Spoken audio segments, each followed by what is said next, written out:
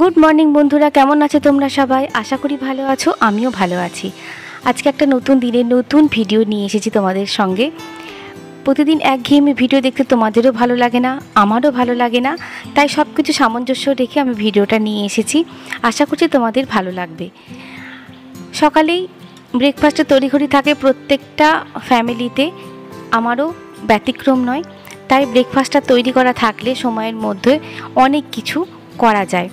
আজকে তৈরি করব গোলা রুটি, তার জন্য নিয়ে নিয়েছি একটু আটা।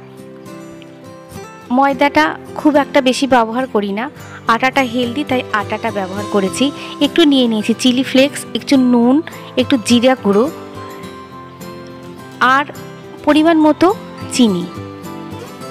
একটু নুন, চিনি সামঞ্জস্য থাকলে গোলা রুটিতে, গোলা রুটিটা খেতে ভালো লাগে। ভেবেছিলাম সবজি দিয়ে করব, তাই। কিন্তু সবজি সেরকমভাবে ঘরে মজুদ ছিল না, তাই ভাবলাম একটু নর্মালি করি। বিভিন্ন ধরনের বন্ধু তৈরি হয়েছে। বেশ বুঝতে পারছি।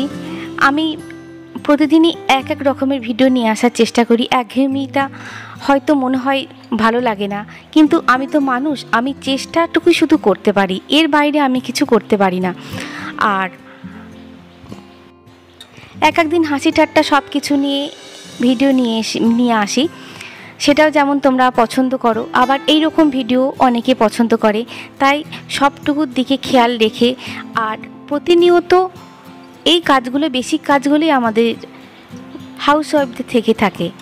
তাই এইগুলোকে এইগুলোকে বাইরে কোনো কিছু করা আমার পক্ষে সম্ভব নয়। আমি কেন?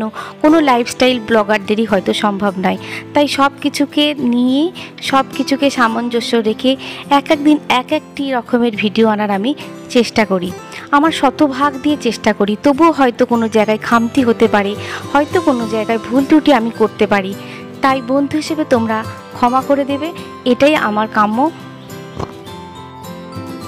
কুচুম চলে গেছে একাডেমিতে একাডেমি থেকে এসেই একাডেমির ওখানেও কিছুটা টিফিন করে নিয়েছে। যেহেতু দুটো ক্লাস করে, সেহেতু এসেই কিছু খাওয়ার দরকার। তাই খাবারটা তৈরি করা থাকলে অনেকটা সুবিধা হয়। আর ব্রেকফাস্টটা যদি সময়ের মধ্যে হয়ে থাকে, তাহলে বাকি কাজগুলো অনেকটাই তাড়াতাড়ি হয়ে যায়। রান্নাবান্নাও আমাদের যে হাউস ওয়াইফ আছে আমরা, বিশেষ করে আমরা মধ্যবিত্ত যদি তুমি হয়ে থাকো, তাহলে কন্ডিশানটা আমার খুব ভালোভাবেই বুঝতে পারবে। আমাদের রান্নাবান্নাও যেমন করতে হয় একা হাতে ঘর ধরেও আমাদের পরিষ্কার করতে হয় একা হাতে। তাই যেহেতু আমার কোনো হেল্পিং হ্যান্ড নেই, সেহেতু অনেকবারই আমি একটা রুটিন তৈরি করেছিলাম যে রুটিনের মধ্য দিয়ে ঘর দোয়ার কবে কবে পরিষ্কার করব, কীভাবে পরিষ্কার করব, এটা একটা রুটিনের মধ্যে নিয়ে আসি, একটু লিখেও রেখেছিলাম। কিন্তু অনেকবার দেখেছি সেই রুটিন আমি মেনে চলতে পারিনি। কেননা কোনো না কোনোভাবে আমার রুটিনটা ভেঙে গেছে এবং কোনো না কোনো পরিস্থিতি হয়েছে যেটা আমাকে রুটিনটা মানতে দেয়নি। তাই ভেবে নিয়েছি যে যেদিন মনস্থির করব, যে আগের দিন হয়তো মনস্থির করে নিতে হবে যে কালকে আমি ঘরের এই এইগুলো জিনিসগুলো আমি পরিষ্কার করব। তার ফলে কি হয়? সকালবেলা উঠেই যদি এই ব্রেকফাস্ট বলো, রান্নাবান্না বলো, সময়ের মধ্যে আমি তৈরি করে নিতে পারি। কেননা এটা হচ্ছে সর্ববৃহৎ কাজ। তুমি সব কিছু পড়ে থাকলেও এই জায়গাটুকু তুমি অবহেলা করতে পারবে না কেন? এই জায়গাটুকুর উপর নির্ভর করছে তোমার পরিবারের সব কিছু, তোমার পরিবারের হেলথ তোমার পরিবারের আনন্দ, তোমার পরিবারের ভালো লাগা, সবটুকু নিয়ন্ত্রণ করছে কিন্তু এই ছোট্ট একটা চার দেওয়ালের ঘর। সেইখান থেকে কিন্তু তুমি পেয়ে যাবে তোমার একটা বড় সার্টিফিকেট কুচুমি আজকে বলে গেছে, তুমি আজকে গোলা রুটি করবে আর ছোলার ডাল করবে। কি জানি ছেলের হয়তো ছোলার ডাল খেতে ভালো লেগেছে। দুদিন একদমই খাওয়াতে পারছিলাম না। পেঁপে দিয়ে বা অন্য কিছু দিচ্ছিলাম বলে হয়তো খেতে চাইছিল না। আজকে শুধু বলেছে, তুমি প্লেন একটা ছোলার ডাল করবে, তাও আবার নারকোল দিয়ে। তাই নারকোল দিয়ে ছোলার ডাল করছি আর গোলা রুটি করলাম। তোমরা তো দেখতেই পেলে, গোলা রুটি করলাম। আর নারকোল আমার ফ্রিজে স্টোর করে রাখাই থাকে। একটা করে নারকোল ভাঙি আর স্টোর করে রেখে দিই। তার ফলে কী হয়, এই সুবিধাটা হয়। আর ছোলার ডালে সেরকম কিছু বিশেষ কিছু দিলাম না, একটু হিং ফোড়ন দিয়েছি আর তেল, জিরে ফোড়ন আর একটু শুকনো লঙ্কা দিয়েছি। আর টমেটোটা আনা হয়নি। টমেটোটা একটু দিলে খুবই ভালো হতো।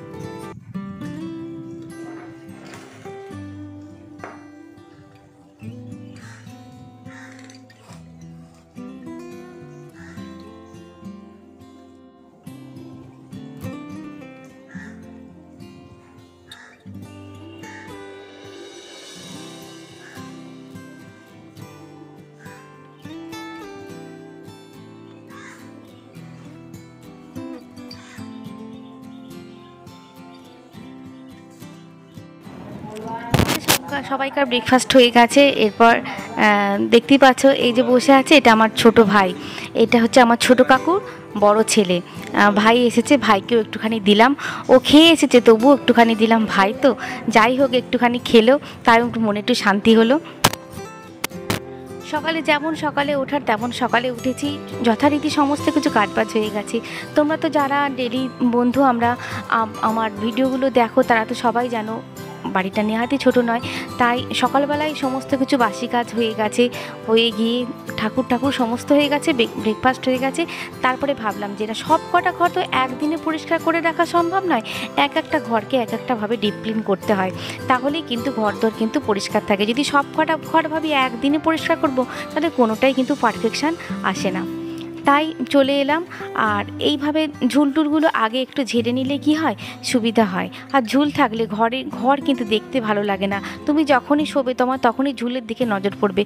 আর নিজের একটা অকৃতকার্যতা মনে হবে যে আমি কি করলাম, একটু ঝুলও ঝাড়তে পারি না, ঝুল এত ঝুল হয়ে আছে। আর ঝুল কিন্তু সংসারের পক্ষে একদমই ভালো নয়। ঝুল যত ঝেড়ে পরিষ্কার করে রাখা যাবে, ততই কিন্তু লক্ষ্মীশ্রী থাকে। এটা আমার ঠাকুমাই বলতো যে যে বাড়িতে যত বেশি ঝুল, সে বাড়িতে কিন্তু লক্ষ্মী থাকে না। তাই সেই ভয় একটা আমার চেপে ধরে। তাই ঝুল দেখলেই আমি ঝেড়ে দিই। আর এবং কুচুমের বাবাও কিন্তু ঝুল থাকলেই ওর সহ্য হয় না ও- ও ঝেড়ে দেয়। সব একা সবসময় পারি না, তবু বেশিরভাগটাই চেষ্টা করি আমি একাই করতে। তোমরা নতুন বলো, পুরনো বলো, তোমরা আমার বন্ধু, তোমাদের কাছে বলতে দ্বিধা নেই।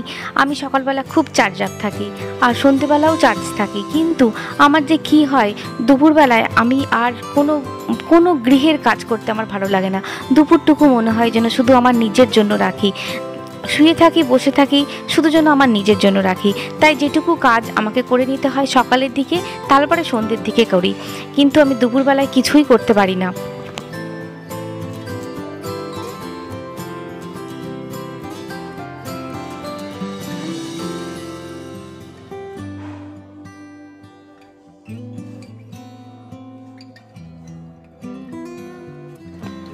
আমার সমস্ত ঘরই লক্ষ্য করে দেখবে সাদা চাদরটা সাদা চাদর দুদিন অন্তরই নোংরা হয়। কিন্তু আমি গত পরশু চাদরটাকে পাল্টেছি। তাই আর আজকে ইচ্ছা হলো না চাদরটাকে পাল্টাই। কেননা সব দিকটাই দেখতে হয়। কেননা শুধু চাদর পাল্টালেই হবে না। এই তোমার আকাশের পরিস্থিতিও খুব একটা ভালো নয়।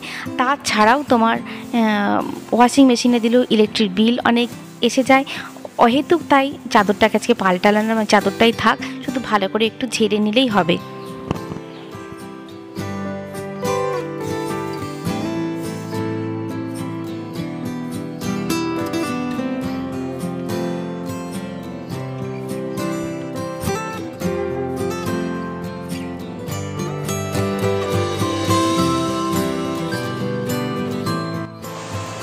দুটো তিনটে দিন প্রচণ্ড পরিমাণে ঘুমোট ভাব, একটা অস্বস্তিকর ভাব।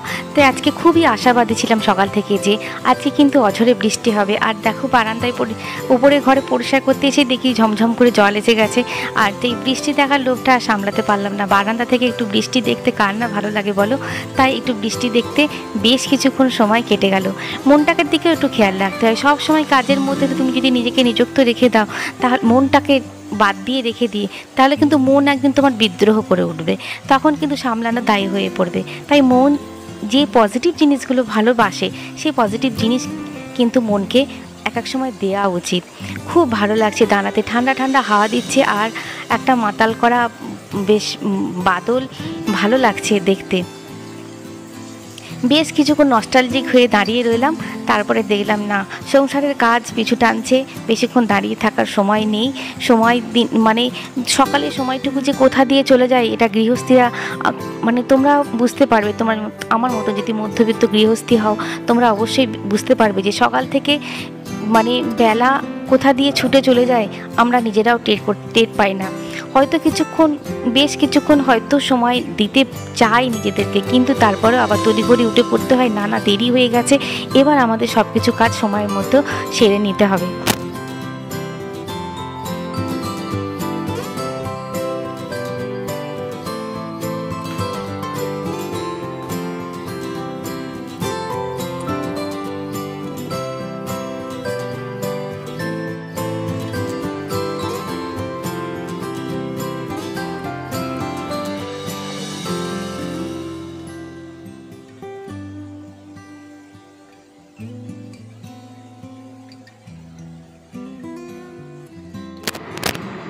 আজকে দুপুরে বেশ কটাই তরি তরকারি হয়ে গেছে। তরি তরকারি বেশ কটা করেই তারপরে আমি পরিষ্কারের কাজে হাত দিয়েছিলাম। তারপরে বাকি থি- ছিল তোমার এই ভোলা মাছটুকু। ভোলা মাছটা কালকে নেওয়া হয়েছিল, কালকে কিছুটা হয়েছিল, আজকেও কিছুটা ভোলা মাছটা করলাম। তা ভোলা মাছটা করতে ভেবেছিলাম একটু ভোলা মাছটা খুব বড় ছিল, ভেবেছিলাম একটু ভোলা চিলি করব। বললাম, না আনাজপাতি কিছুই নেই। একটু ক্যাপসিকাম না হলে চিলি তৈরি হয় না, তাই চিলিটা তৈরি করা গেল না। আর কুচুমের বাবা সকালবেলায় চলে গেছিল কুচুমকে নিয়ে, তাই বাজারঘাটও সেরকম কিছু হয়নি। ভোলা মাছটা কালকেকার নেওয়া ছিল, তাই আজকে ভাবলাম ভোলা মাছের একটু কারি করি। তোমার তেলে পেঁয়াজ দিয়ে দিয়েছি, আর ভোলা মাছগুলোকে দেখছ তো ভেজে নিয়েছি। এর আর কি ইনোভেটিভ ব্যাপার, ভোলা মাছ ভাজাটা তোমাদের সঙ্গে শেয়ার করলাম না। একটু তেলে একটু পেঁয়াজ, তারপরে তোমার একটু রসুন দিয়ে দেবো।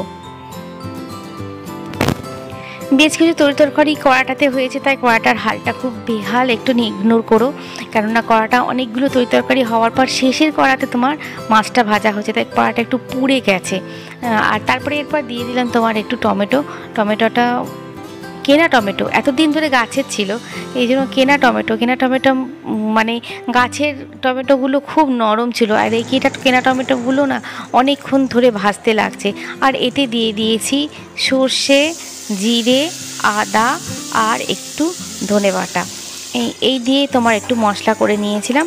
মশলা, আর দুটো তিনটে কাঁচা লঙ্কা ওতে আমি একটু কাঁচা লঙ্কা বলো শুকনো লঙ্কা। দুটো তিনটে শুকনো লঙ্কা, দুটো তিনটে কাঁচা লঙ্কাও এতে অ্যাড করেছি। না হলে না মাছের ঝালটা বেশ খুব, যদি তুমি শুধু গুঁড়ো লঙ্কার বেশি করতে যাও, তাহলে কিন্তু মাছের ঝালটা অত বেশি টেস্ট হয় না। এই দেখো, বেশ তেল ছাড়িয়ে ছাড়িয়ে এসেছে। তেল ছাড়িয়ে ছাড়িয়ে আসার পর একটু দিয়ে দিলাম জল। আর ভোলা মাছটা বাড়ির লোক খেতে খুব ভালোবাসে, তাই রাঁধতেও খুব একটা ভালো লাগে। আর আমি খুব একটা খুব একটা বেশি ভালোবাসি না। আর এইসব সামুদ্রিক মাছে তোমার কি বলব, খুব খুব ভালো সামুদ্রিক আগেও বলেছি সামুদ্রিক মাছটা কিন্তু এই সময়টা না খাওয়া খুবই ভালো। সামুদ্রিক মাছে ওমেগা হার্টের পক্ষে কিন্তু সামুদ্রিক মাছ খাওয়া খুব ভালো। কিন্তু আমার আমার এইসব খুব একটা বেশি ভালো লাগে না। আমি সামুদ্রিক মাছ বলো, গঙ্গার মাছ বলো, ওই একটা মাছই খুব একটা মানে বেশি মানে ভালোবাসি, সেটা হচ্ছে ইলিশ মাছ। তাই ইলিশ মাছের যা এখন দাম প্রচুর, বাজারের দাম। তাই ইলিশ মাছ একবারই আনা হয়েছিল তাই এবারে এখনও সেরকমভাবে ইলিশ মাছ খাওয়া হচ্ছে না।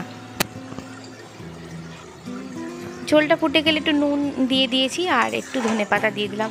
একটু ধনে পাতা না দিলে কিন্তু এই ভোলা মাছের টেস্ট অতখানি ভালো হয় না। তা ধনে পাতারও অবস্থা খুবই খারাপ ফ্রিজে রাখা ছিল।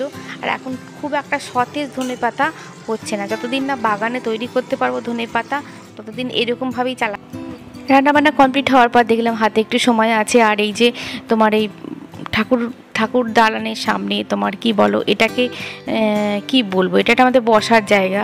এখানে তোমার ঠাকুর মন্দির আছে, এখানে টিভি আছে, এখানের ওপর সব সময় একটা অত্যাচার তৈরি হতেই থাকে। সব সময় এই মানে ডিভানটার ওপরে খুবই অত্যাচার হয়। তাই দুদিন অন্তরে এটাকে পাল্টাতে হয়। একদিন দুদিন ভাবছি পাল্টাবো পাল্টাবো। তার সময় হয়ে উঠছে না, আজকে একদম স্থির নিশ্চিন্ত ছিলাম যে আজকে কিন্তু কভারটা আমি পাল্টাবই।